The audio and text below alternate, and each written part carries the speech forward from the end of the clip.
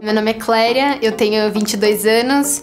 Eu fui ganhadora de um prêmio de um curso no qual participei nas férias, que era o Protagonismo Social e Desenvolvimento Urbano Sustentável lá em Paraisópolis. E agora eu vou contar um pouquinho da minha história. O Espaço Pipa é um espaço que foi comprado por um escritório de arquitetura. Ele vai ser um espaço onde vai ser construído um shopping para gerar renda, para gerar mais empregos dentro da comunidade. E o objetivo do projeto foi formar líderes jovens comunitários que estejam engajados dentro da comunidade mesmo e conheçam o lugar onde moram. Eu acho que fui a vencedora porque existiam critérios e eu acho que eu cumpri a maioria deles ou todos eles. Os critérios eram participação, era frequência em todos os dias do curso, era também o engajamento na, nos mini projetos, era estar tá ali o processo criativo, era o processo de elaboração de mini projetos. E além disso, né, eu criei um documento e tal que organizava tudo aquilo que a gente tinha elaborado no dia.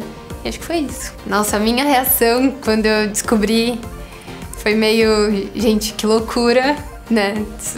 Não, não, não, sei, não tenho ideia do que vou fazer com essa informação agora. Fiquei meio assim, acho que em choque um pouco. Eu achava que eu tinha, né, a, a possibilidade de ganhar, mas eu não tava esperando. Mas depois comecei a organizar todo o meu pensamento e tal. Comecei a pensar sobre tudo que eu conseguiria com o intercâmbio, pensar além já, né? Pensando que eu tô no quarto ano de psicologia já, tô quase terminando e preciso entrar no mercado de trabalho porque não é fácil. E é uma mais, assim, é ter o inglês é essencial atualmente, ter a possibilidade pra lá fazer uma imersão cultural e conhecer a África, porque as minhas raízes são africanas, né? Sou da periferia, tá lá, é só um processo de ganho. A reação da galera quando eu contei, assim, eu fui contando meio aos poucos, acho que demorou para cair a ficha. Faz parte das minhas expectativas aprender de fato inglês, fugir dos brasileiros um pouco, porque sempre orientam a gente para fazer isso.